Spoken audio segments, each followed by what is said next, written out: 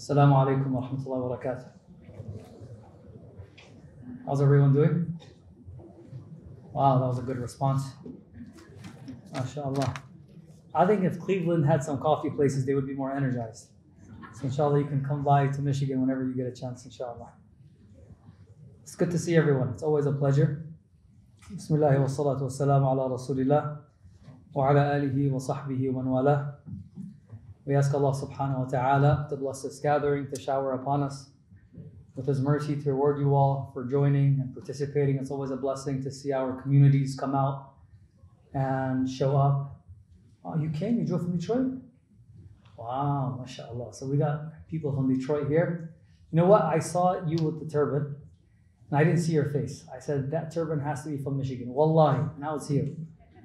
So, mashallah, mashallah. Alhamdulillah. We ask Allah to make it easy for our brothers and sisters who are suffering around the world. May Allah give them victory over their oppressors. May Allah give victory to our brothers and sisters in Gaza and Palestine. And may Allah subhanahu wa ta'ala be with our brothers around the world. Any place where people may be suffering, may Allah subhanahu wa ta'ala relieve them from their suffering and be with the children, the elderly, and the weak. Ameen Allahumma. Ameen. Jazakumullah khair Miftaah. Always for bringing our communities together. And thank you to all the volunteers. Give the volunteers a round of applause, everyone. It's beautiful. Anas radiallahu anhu mentions that a man came to the Prophet sallallahu alaihi wasallam and said, Ya Rasulullah, inni uridu safara fazawidni. Inni uridu safara fazawidni. He said, O Messenger of Allah, I intend to travel, to embark on this journey, so provide me with provision. Subhanallah, it was part of the sunnah that the Sahaba would always go to Rasulullah before embarking on their journeys. And they would seek advice. So Anas radiallahu anhu mentions that this man came to Rasulullah before departing and said, Give me something that I can leave with. The Prophet ﷺ then said, زَوَّدَكَ اللَّهُ بِالتَّقْوَى May Allah allow you to be mindful of Him. Be mindful of Allah. Be conscious of Allah. Of course, as you all know, this is a basic nasiha that we give all the time. This is an advice that we listen to and we hear every Jumu'ah. Ya ayyuhalladhina amanu ittaqullah, ittaqullah, ittaqullah. We hear it all the time. So this Sahabi had a similar response by saying, Ya Rasulullah zidni, give me something else. Okay, we know and we understand what it means to be conscious of Allah. The Prophet ﷺ then said, Yaghfirullahu lak. Allah will forgive you. Did he give him a nasiha when he said Allah will forgive you? No, he didn't. The Prophet ﷺ just mentioned the reward of being mindful of Allah. He then responds to the Prophet ﷺ, Ya Rasulullah, zidni, give me more. قال وييسر لك الخير حيثما كنت.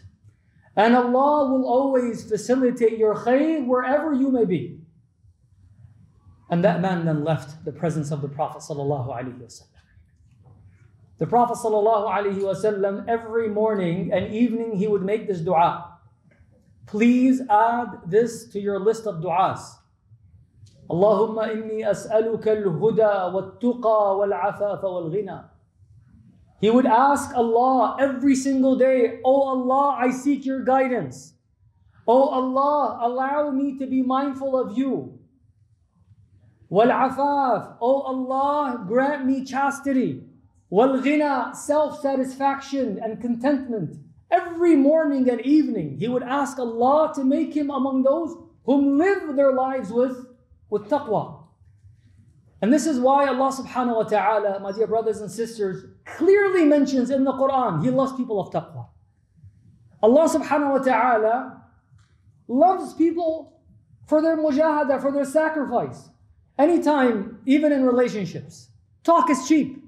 You can say you love someone, but what if you smack them right after? You can say you love someone, but what if you betray them a second later? This love is meaningless because love, the best definition of love is action. It's not an emotion. This emotion is a result of an action. And this is why people misunderstand love. I fell in love from the first sight. Boom. It doesn't happen like that. It comes through action. And Allah subhanahu wa ta'ala loves the muttaqeen, people of taqwa, because they lived a life of strife and struggle. Can I ask a question, everyone? Can I ask a question? Can you all at least answer? Okay, wow. I support the other imams that are going to come up. You know, just say yes or no. You don't have to answer, but you know, alhamdulillah. Who can give me a good definition of taqwa? A simple one, a nice one. It doesn't have to be philosophical. Don't go. A nice definition that we all can learn from and take away. Who can share? Go ahead. You had your hand up? No? Anyone else? Go ahead, sister. God consciousness, very good. So muraqabatullah, aware of Allah's presence. Go ahead. Belief in Allah's plan. Belief in Allah's plan, very good. So the one in the back, for sure, I can't hear you. So you got to come a little forward. Come, come, come closer. Okay, until he comes up. Sisters, it's not a fundraiser, so you're good. You can raise your hand. Go ahead. Say it again. Fear of Allah. Okay. Go ahead. Worshipping Allah. Stay away from. Stay away from, basically, whatever Allah has prohibited. Go ahead. Constant remembrance of Allah. Oh, you, got, you all got some deep points, mashallah. Go ahead.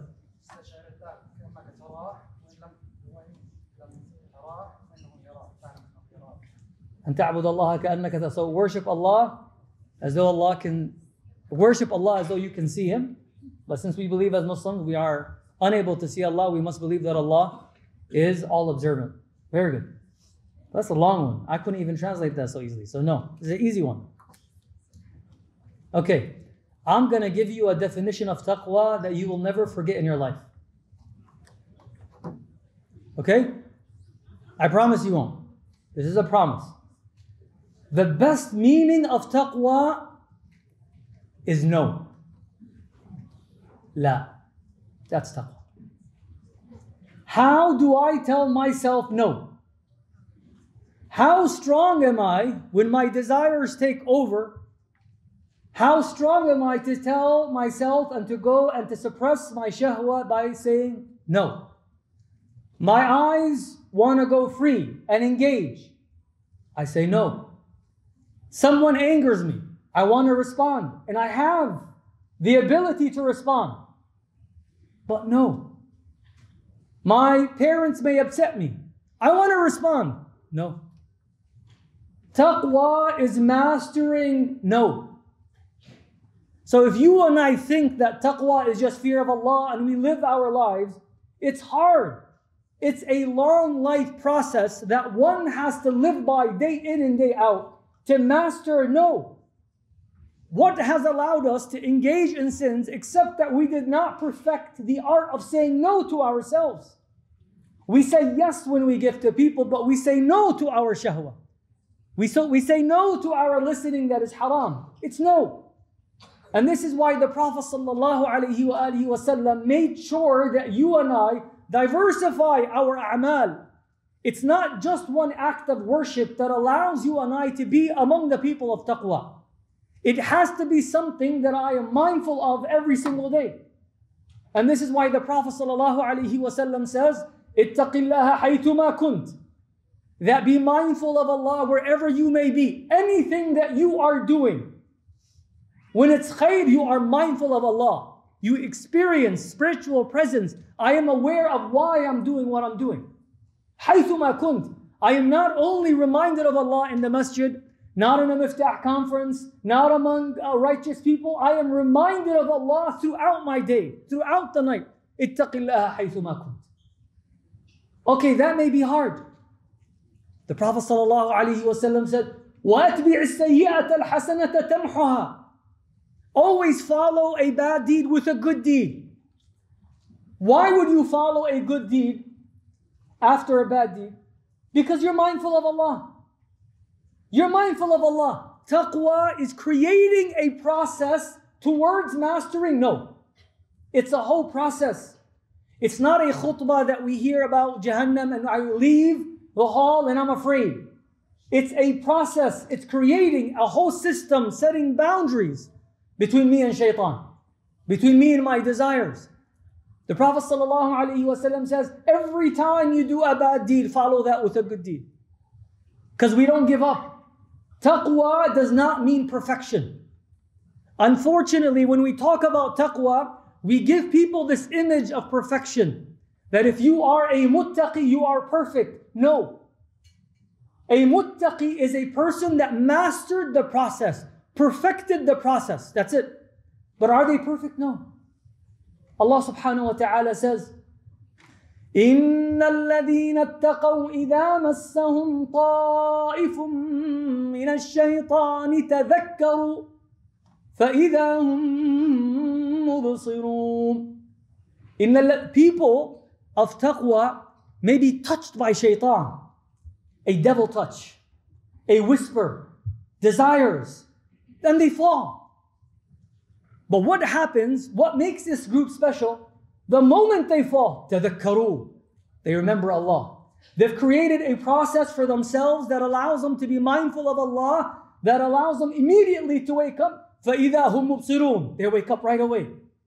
It's easy for them to wake up. It doesn't take a month or two. They realize they're wrong.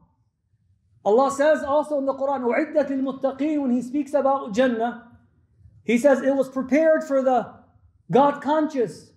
Who are they, Ya Allah? Those whom give ينفقون in times of ease and times of difficulty. So taqwa is a journey. They're always giving, they're always sharing, they're always moving. It's not a one-time thing. It's not that you and I just make dua and somehow, some way we gain it all. Okay, Ya Rab, what else? وَالْكَاظِمِينَ الْغَيْظِ They suppress their anger. And they forgive وَالْعَافِينَ عَنِ النَّاسِ They're people of goodness. You see how they're diversifying their actions? It's not all into one bucket. It's not just Ramadan. When we talk about taqwa, it's a lifestyle. And then Allah subhanahu wa ta'ala says, when he says, والله يحب المحسنين والذين إذا فعلوا فاحشة أو ظلموا أنفسهم ذكروا الله فاستغفروا لذنوبهم even those who may engage in animalistic behaviors and engage in haram, what makes these people unique, Ya Allah? Immediately they wake up and seek Allah's forgiveness. None of us are perfect. Wallahi, Allah has hid our sins and never think that the speaker is better than the listener. Allah has beautified us by concealing our wrongdoings. We can walk after this, give salam to each other, everyone is smiling, and everything is beautiful. And we may have committed a sin last night in the midst of darkness where no one was watching except Allah. But again, we're doing it for the sake of Allah. We're fighting for the sake of Allah. We've made this decision to be among the muttaqeen. Abu Bakr radiallahu anhu beautifully says, اتق الله بطاعته وأطع الله بتقواه. It's so hard to even translate. He said, اتق الله بطاعته. That be mindful of Allah through your worship. Our lives as Muslims is worship until death. If I sleep and I am tired, and my intention is to regain energy to start a beautiful day, I get ajr for my sleep. My sleep becomes a ibadah. There is no religion that tells you and teaches you that everything you are doing is ibadah. Even when you sleep, even when you eat, even when we play basketball, even when we play sports, for the sisters, volleyball, whatever. There's ajr. There's ajr, everything. But we have to be intentional about it. And Abu Bakr radiallahu anhu says, Ittaqillaha bita'atih. Be mindful of Allah through everything you do. Imagine if I was mindful of Allah when giving my charity. Would my charity be different? Would I just give money? Or would I think of the process of how I'm giving money? I can just, someone comes in need, throw the money at their, you know, on their face. I still gave, but the process was wrong.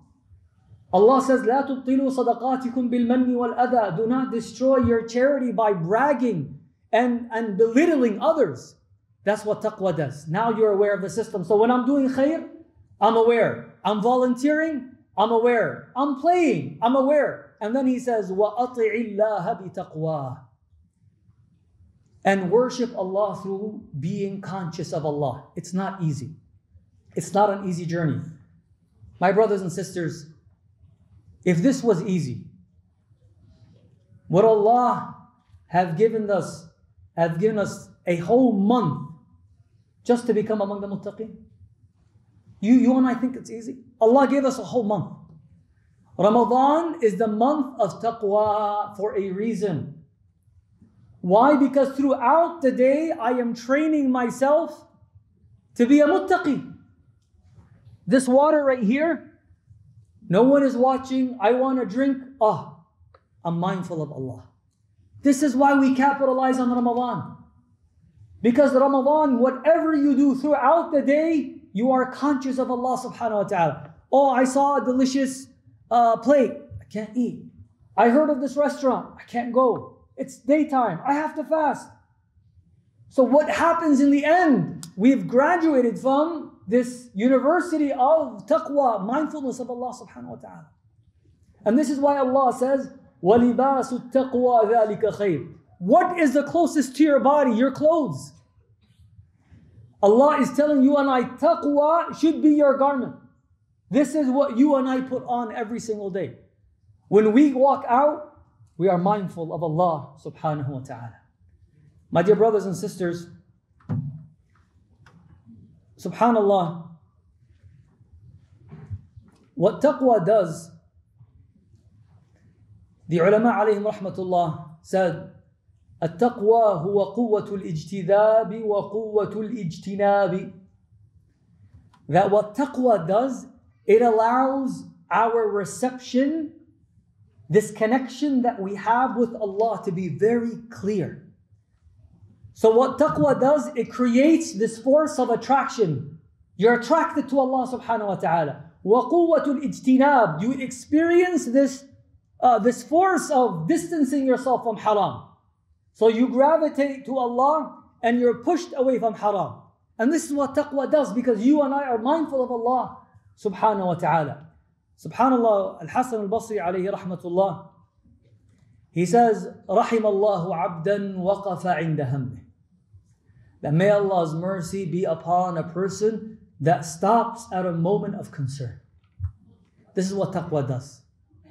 I'm concerned and I'm overwhelmed and I am consumed. I want to do this haram. I want to do it. You know, it starts off with a thought. Sometimes we tell people, and this is very destructive, and please never accept an nasiha like this, where they say, you know what? We're not held accountable for our thoughts. So you can think haram. As long as you're not engaging in haram or practicing haram, your thoughts are legitimized. That is very destructive because a passing thought becomes that which consumes you and then it turns into action and then it becomes an addiction. It's very destructive when it comes to our thoughts. So he says, رحم الله عبدا وقف عند همه إن كان خيرا أمضاه وإن كان شرا تركه May Allah's mercy be upon a person that stops at a moment of concern and overwhelming desire. If they find any khair in that which they're about to go about and do, then they go along. And if they find shar and evil and wrong, they stay away from it. I end my my my my talk, my dear brothers and sisters. Mufti Aasim, Shaykhana, it's good to see you. So our Shaykh is here, so I'm not gonna go I'm just going to end with two things, and then we'll call it a night, inshallah, for me. And we'll listen to our mashayikh, they're far more learned. Two pieces of advice that I give myself and everyone here that allows us to be among the people of muttaqi, among the people of taqwa, and among those whom Allah has declared His love for in the Quran, in Allah yuhibbul muttaqi. Two pieces of advice. Number one, is spiritual presence. Be present, and I need to be present in everything we are doing. Even when you give salam, how many people have you given salam to and they did not acknowledge you? Didn't that bother you? Yeah, right? Brother, sisters were bothered. Brothers, no one said yes. But it shows you it bothers you. Spiritual presence. When we pray, I am present. When I'm smiling, I am present. When I give nasiha, I am present. When I'm with my spouse, I am present. When I'm with my children, I am present. When I'm playing sports, presence. What happens when people get out of the court? Immediately everyone jumps on their phones. Enjoy the moment. SubhanAllah, even when people, I think Muslims are the only people when they hike, they're on their phones. Like I've seen many people hike, they're just living the moment. Muslims, they're just on their phones. I was like, just live the moment. So teaching ourselves how to be spiritually present when doing anything, even if it's a simple act of salam, be aware that you and I are rewarded for that salam. And wallahi, that will go so far. Insha'Allah, because now you're going to realize how much good you are doing because you're aware of the good. The last piece of advice that I give myself and everyone here one of the strongest forces that allow you and I to be among people of taqwa is Allah's remembrance as much as you can. It helps. Never underestimate the power of saying Bismillah. Don't think that you have to do so much just to be a, a person that is mindful of Allah. It's what you do that matters, and how you do it is what matters. Never underestimate committing to saying astaghfirullah a hundred times in the morning, a hundred times in the evening. Fighting our temptations doesn't, doesn't just happen. We remember تعرف على الله في الرخاء يعرفك في الشدة. Remember Allah at moments of ease for you to be remembered at moments of difficulty. We can't expect shaitan to present all the desires all at once and I fight it.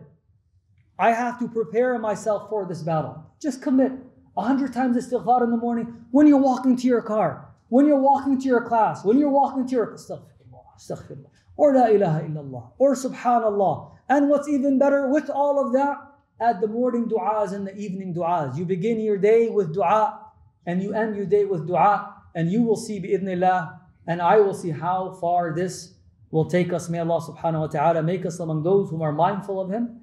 We ask Allah subhanahu wa ta'ala to assist us in this journey, to make it easy for us as we embark on this journey. Ameen Allahumma ameen. Jazakumullahu khair. Assalamu alaikum.